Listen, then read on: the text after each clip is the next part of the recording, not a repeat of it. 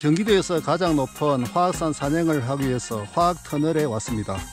여기가 덜머리입니다. 지금 보이는 이곳이 화학터널입니다. 경기도와 강원도 경계에 있는 화학터널입니다. 여기는 강원도 화천군 산해면입니다. 이쪽으로 올라가면은 화학산 중봉이 나옵니다. 운해가 무지무지 아름다워요.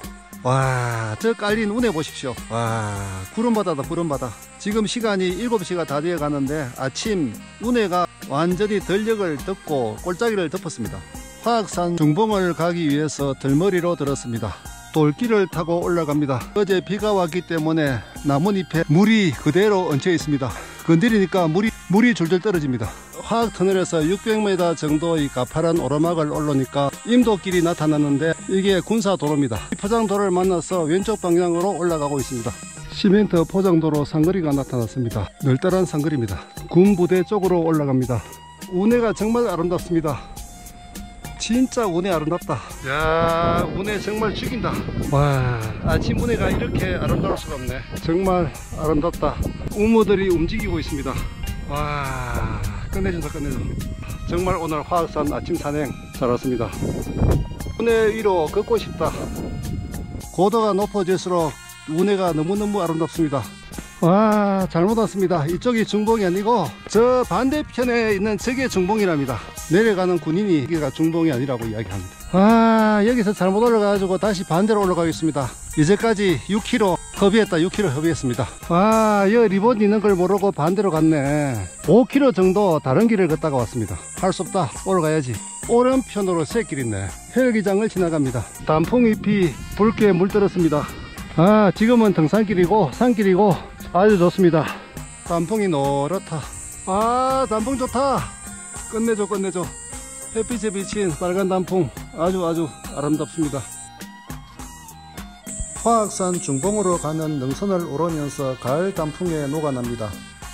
아직 운무가 그대로 있습니다. 아침이나 지금이나 운무는 꿈쩍도 하지 않고 있습니다. 중봉으로 이어지는 능선길에 올랐었습니다 봉우리를 감싼 군부대의 철조망과 철망을 따라 25분 동안이나 힘겹게 지나갑니다. 군부대 정문에서 작전도로를 따라 중봉으로 향합니다. 군부대 옆으로 철망을 따라 온다고 혼났습니다.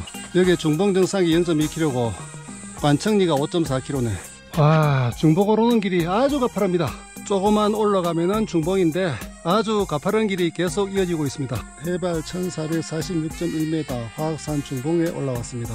중봉에서 바라보는 뷰는 무지무지 아름답습니다. 운무가 거치고 이제 붕괴구름이 되어가고 있습니다. 아직까지 산에 운무가 걸렸습니다. 아 진짜 전망 좋습니다. 화학산 중봉이란 이름은 정상 아래 중간 봉우리란 뜻이 아니라 한반도의 중앙이라는 뜻을 의미합니다. 지금부터 하산을 합니다. 하산은 5.2km 거리에 있는 관청리로 하겠습니다. 관청 마을로 하산하는 중에도 단풍이 아름답게 물들고 있습니다.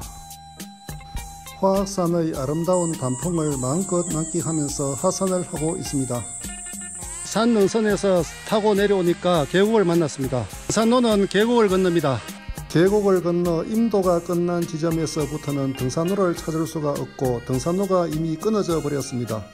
등산로를 찾으려고 산자락을 따라 2시간 30분이나 헤맨 끝에 드디어 등산로를 찾게 되었습니다.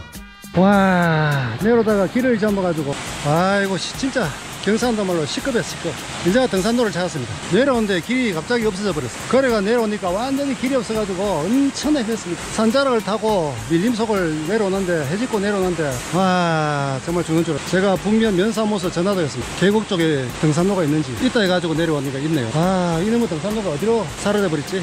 계곡에 물이 많네요. 아이고 그냥 살았다. 아이고 혼났다 혼났어. 그 다리를 지납니다.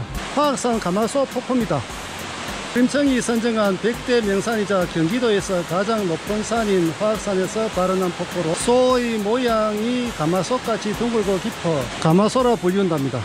오늘 화학산 산행은 덜머리와 날머리 모두 힘든 산행을 하였으나 무사히 관청마을에 도착했습니다.